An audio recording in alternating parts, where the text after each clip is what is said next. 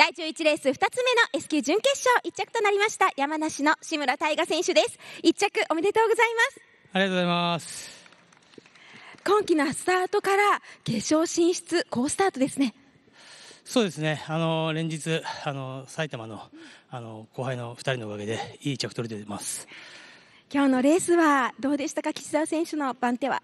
そうですね。あの岸澤君に頑張ってもらっちゃって本当にあの残せなくて残念です、はい、でも志村選手もしっかりこうブロックされてました。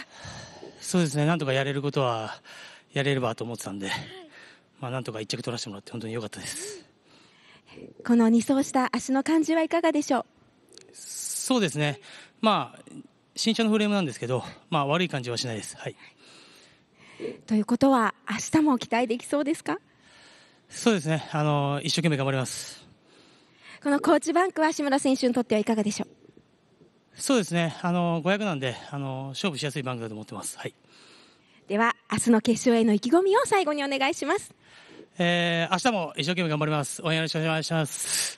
大きな拍手お願いいたします。そしてお家ではどなたが応援してくれてますか、えー、そうですね。あのうちの可愛い夏美ちゃんが パパを応援してくれて思ってるんで明日も頑張ります。夏美ちゃん何歳ですか？1歳です夏美ちゃんにあそこカメラなんですけどメッセージお願いします。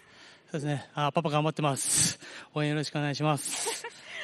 いいですね。パパの表情も見せていただきました。志村大河選手でした。大きな拍手をお願いいたします